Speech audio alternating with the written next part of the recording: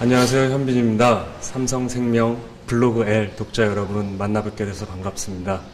저도 이번 광고 촬영을 하면서 미래를 어떻게 준비해야 될지 고민을 할 수 있었던 좋은 시간이었던 것 같은데요.